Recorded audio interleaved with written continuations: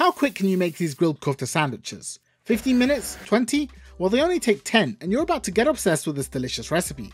To make these kofta sandwiches which are called arayes, you first put together a flavourful kofta mix, stuff it into some pita bread and then grill it until the meat is cooked through. That's literally it, a handheld kofta sandwich cooked inside this bread so it's ultra moist. To turn mincemeat into kofta you need to mix it with grated onions, which you get by grating onions.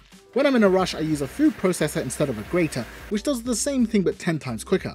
For this recipe you need 1 medium or 2 small onions, and you also need 30 grams of fresh parsley. Because I'm going to process these, I just gave everything a rough chop, but if you're doing this by hand, you'll have to finely mince the parsley. So onions and parsley went into the food processor with 3 cloves of garlic. Those need to be processed for about 1 minute until you are left with this. The mixture should be very finely minced, very oniony, and bring a literal tear to your eyes. Before you go any further, you must strain this onion mixture because this stuff is really watery, and water makes your kofta soggy. Here's a batch of freshly grated onion, and even without squeezing it, it's just soaking wet. To prevent this, place your onions in a strainer and squeeze out about 90% of their liquid. Being the genius that I am, I forgot to strain this onion mixture, but at least I can demonstrate how to fix wet kofta. So after straining your onions, add the seasoning so they get evenly spread. Start by adding 1 teaspoon of salt, half a teaspoon of baharat or 7 spice, and a quarter each of black pepper and cayenne pepper. Add an eighth of a teaspoon of cinnamon, and those spices together will give you a very typical Lebanese kofta. This is a very flexible dish though, so you can easily replace the spices with whatever spice mix you're currently obsessed with. After the spices, add 1 to 2 tablespoons of olive oil depending upon the fat content of your meat, and then add 1.5 tablespoons of pomegranate molasses. Quick tip, pomegranate molasses is sticky. If you reuse an oily measuring spoon it will just slide out, versus using a clean one where it will stick to the spoon. Now mix those ingredients together and you'll have a well seasoned onion mixture. As you can see it's quite watery, which is all of the water that I should have removed earlier but didn't. There's no going back though, so let's add in the meat. For this recipe you need 500 grams of minced meat. I'm going to use 250 grams of beef and 250 grams of lamb, but you can use any combination you want. The key thing is that the meat should be finely minced so it has a play-doughy texture, and you should have about 20 to 30% fat overall. With the meats added, mix them into the onions and knead it all together for about 2 to 3 minutes.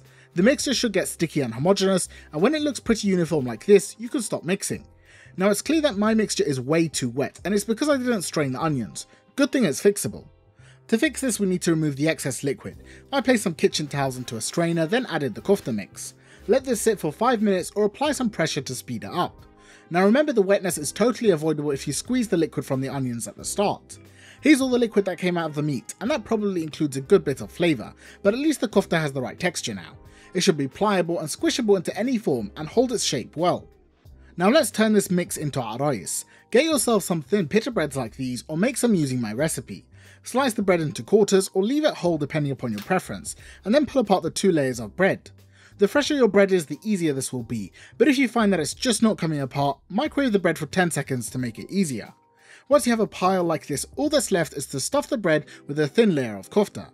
Spread the meat out so it goes from edge to edge and press it into an even thickness all around. Then you just repeat that until all of the kofta is used up. I also made some exaggeratedly thick arayes for my thumbnails and b-roll, which are like the juicier cousin of these traditional thin ones. The final step before grilling these is to brush both sides of the bread in vegetable oil and then place a pan on the stove. I'm using a grill pan to get some nice grill marks on the sandwiches, but you can also cook them in the oven or over a barbecue. Heat the pan over medium heat and then add in a couple of pieces. Press them down and cook them until they start to leak juices, then flip them over and cook them a little more. Once they're nice and golden on both sides, I like to flip and crisp them up for another 30 seconds, then remove them and set them aside. Here's what they should look like when done, and for the doubters here who think the meat is still raw, this is what it looks like. The meat is perfectly cooked and the crispy bread is soaked in all of the meat juices. The thicker ones take a bit longer to cook, but the extra time is worth it for one of the juiciest koftas you'll ever experience. To serve, I've put together a red onion and parsley salad which you can get from this video, and I've also got a tahini sauce for dipping. You can also drizzle this with some pomegranate molasses to make it even more decadent. Whichever option you choose to make, I'm certain you'll be making these over and over again. But if you crave sandwiches of a different style, how about you make this shawarma instead?